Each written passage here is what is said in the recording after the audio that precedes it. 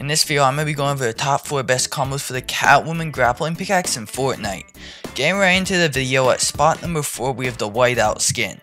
The white on black looks super cool and they are both very tryhard items, so if you want to use this pickaxe in a tournament or something like that, this would be a great combo to use.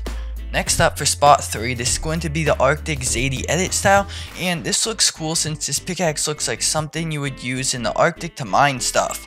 On top of this, this combo isn't super colorful, so if you want to blend in when playing arena slash tournaments, this would be a great combo used for that. For spot 2, we have the Recon Specialist, and overall it looks pretty sick, and they both match pretty well. This would be another combo that would be great to use in a tournament, and overall they both blend in very well to the ground just like the Zadie combo. For spot number 1 we have the Mogul Master and overall the color goes really well together and they are both pretty sweaty. Now, if this video helped you out, make sure you use code RareShadow and item shop hashtag ad since I'm trying not to lose my code and I will if not enough people use it. With that being said, peace out.